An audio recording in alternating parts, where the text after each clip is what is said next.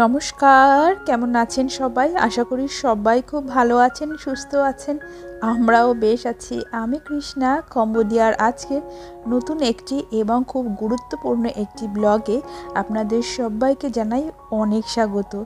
এইবার আজকে আমি কথা বলব যারা গার্মেন্টের কাজ জানেন, তাদের জন্য এইখানে ঠিক কী কী কাজের সুযোগ আছে চলুন তাহলে আজকের ব্লগটা শুরু করি। এই দেখুন, সকালবেলায় আপনাদের দাদা অফিস চলে গেছে আর শনিবার হলেই আমার কেন জানি না ঘুম ভাঙতে ইচ্ছে করে না। আসলে শুক্রবার আমরা মাইন্ড সেট আপ করে নিই যে খালতো ছুটি মানে ছেলের স্কুল ছুটি, আমি দেরি করে উঠবো। ওই জন্য ওইটাই হয়। তবে আমার ছেলে কিন্তু তার বাবার সাথেই সকাল সকাল উঠে যায়। আর বাবা অফিস চলে গেছে, আর দেখুন সে ব্রাশ করে বসে আছে। তো আমি ঘুম চোখে ঢুলু ঢুলু অবস্থায় কোনো রকমে আগেই এই চুলগুলোকে একটুখানি বেঁধে নিয়ে আগে করব ছেলের জন্য ব্রেকফাস্ট আর তারপরে ব্রেকফাস্ট করতে করতেই আপনাদের সাথে কথা বলব। তো আমার চুল বাঁধা হয়ে গেছে। এইবার চলুন খুব ঝটে পটে মানে খুব তাড়াতাড়ি যেইভাবে হোক ছেলের জন্য একটা ওর পছন্দসই ব্রেকফাস্ট বানিয়ে দেব। ওম প্যানকেক খেতে ভীষণ ভালোবাসে, তো ভাবলাম ওকে ঝটপট প্যানকেকটাই বানিয়ে দিই। আর এই দেখুন এখনও আমি সকালে ড্রেসটাও চেঞ্জ করিনি। আর এই দেখুন ড্রেসের কথা বলতে গিয়ে আজকে আমি কথা বলব, এইখানে যারা গার্মেন্টের কাজ জানেন তাদের ঠিক কি কি কাজের সুযোগ আছে? আসলে যারা গার্মেন্টের কাজ জানেন, আমি বলব তাদের জন্য কাম্বোডিয়া হচ্ছে একেবারে একটা আদর্শ দেশ। কাজের জন্য। কারণ কাম্বোডিয়াতে বেশিরভাগ যে কোম্পানিগুলো বা ফ্যাক্টরিগুলো সেগুলো গার্মেন্টসের ওপরেই এবং কম্বোডিয়ার পাশে যেই দুটি দেশ, যেমন একটি হচ্ছে ভিয়েতনাম আর একটি হচ্ছে থাইল্যান্ড, আর মাঝখানে হচ্ছে কাম্বোডিয়া। তো থাইল্যান্ড আর ভিয়েতনামের বেশিরভাগ গার্মেন্ট যে ফ্যাক্টরিগুলো সেইগুলো এখন কাম্বোডিয়ার দিকেই মুভ করছে। তো আপনারা বলতে পারেন একশোটা কাজের মধ্যে পঞ্চাশটা কাজই হচ্ছে গার্মেন্টসের। তো যারা গার্মেন্টসের কাজ জানেন এবং গার্মেন্টসের কাজের উপরে দক্ষ, তাদের জন্য এইটা হচ্ছে সুবর্ণ সুযোগ বলতে পারেন কাম্বোডিয়াতে। কাম্বোডিয়াতে এখন প্রচুর গার্মেন্টসের লোক নেওয়া হয় এবং নেওয়া হচ্ছে। এবং ওদের সবসময় একটা মানে সিট ফাঁকাই থেকে এমার্জেন্সি থাকেই যে এত হাজার লোক লাগবে। তো যারা গার্মেন্টসের কাজ জানেন এবং যারা মনে করেন যে তারা গার্মেন্টসের কাজের জন্য দেশের বাইরে আসতে চান এবং কম্বোডিয়ার মতো দেশে এসে কাজ করতে চান, তারা কিন্তু একেবারে অবশ্যই এইটাই হচ্ছে সুযোগ। তারা কিন্তু এই সুযোগটা নিতেই পারেন। এইবার আপনাদের মনে হতে পারে কাম্বোডিয়া দেশটা কেমন এবং সেইখানে কাজের পরিবেশ কেমন? আমি এই কদিনে থেকে, এই তিন মাস থেকে যতটা বুঝলাম, কাম্বোডিয়া দেশটা হচ্ছে ভীষণই কমফোর্টেবল একটা দেশ। সব দিক থেকে না কোনো ঝামেলা, আপনি আপনার মতোই থাকতে পারেন। আর এখানকার মানুষ আর তাদের মানসিকতা হচ্ছে ভীষণই ভালো, আর অর্থও ঠিকঠাকই দেয়। তো সব দিক থেকে আমার কাছে তো কাম্বোডিয়া দেশটা একেবারে বেস্ট লাগে কাজের জন্য। আর খাওয়া দাওয়া থেকে শুরু করে দেশীয় জিনিস সবই মোটামুটি পাওয়া যায়।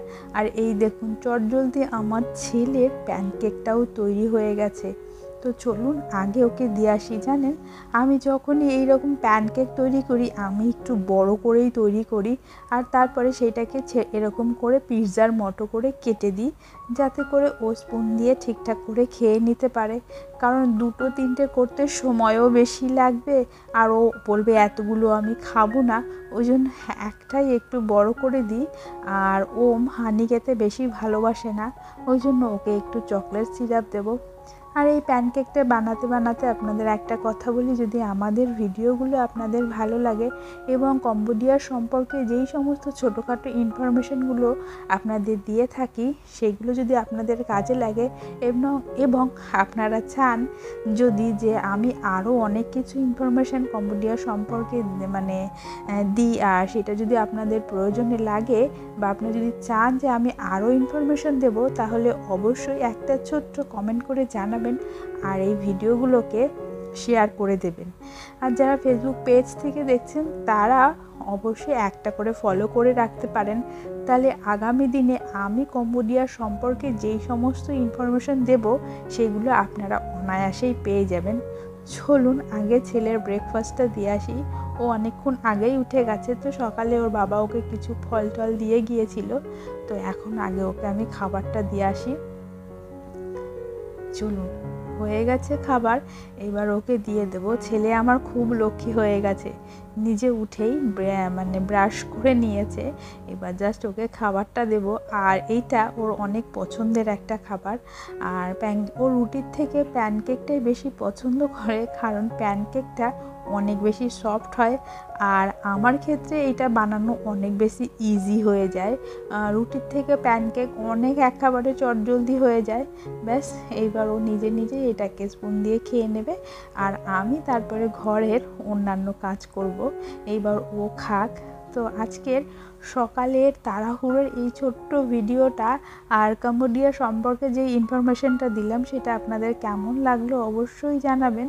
আর এখনও একটু খাওয়া দাওয়া করুক।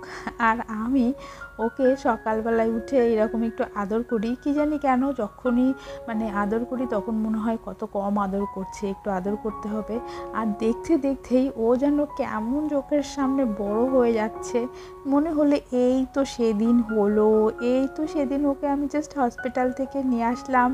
আর ওকে আমি যখন আমার এখন কোলে নিই তখন বলি, জানিস তুই আগে আমার কোলে এত ছোট ছিলিস মানে আমি ধরতে ভয় পেতাম যে তুই হয়তো কোল থেকে পড়েই যাবি। আর দেখতে দেখতে কেমন ভাত পাগুলো তোর বড় হয়ে গেছে। আর কয়দিন পরে আরও বড় হয়ে যাবে। আর মা তখন ছোট হয়ে যাবে। আর তুই আরও বড় হয়ে যাবি। তো ও খাক। আর আমি আজকের এই ছোট্ট মিষ্টি ভিডিওটা এইখানেই শেষ করব। আশা করি আজকের এই ভিডিওটা আপনাদের সবার খুব ভালো লাগবে। তো টাটা। আবার আসব নতুন একটি ভিডিও নিয়ে।